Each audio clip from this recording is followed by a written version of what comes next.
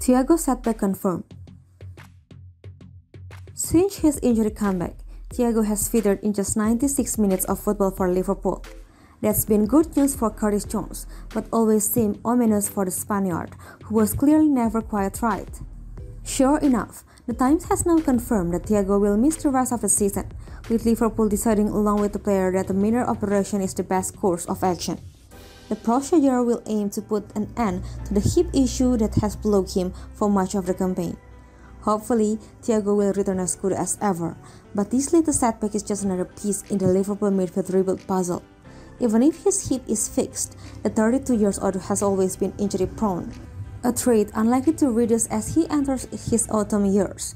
Whichever way the issue is sliced, the former Barcelona and Bayern Munich star is not the long-term future of Jurgen Klopp's engine room.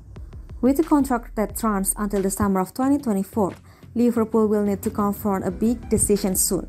Regardless of the outcome of that conversation, it is clear that the availability must be high up Klopp's midfield wishlist as the club enters a critical transfer window. Liverpool's $110 million power play.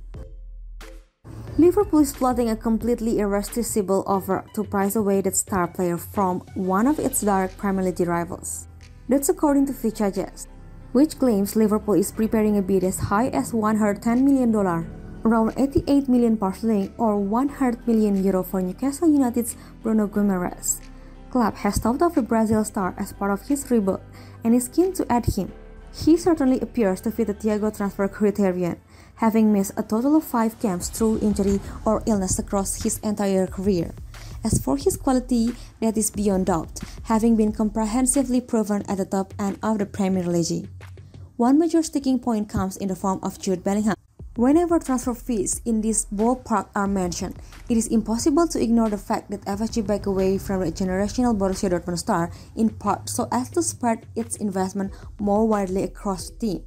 To then go and splash a huge sum on somebody else would be hard to fathom. Then again, Bellingham will likely to attract an even higher fee than this, so perhaps Liverpool can rationalize it. Getting Newcastle to sell, on the other hand, could prove an insurmountable hurdle.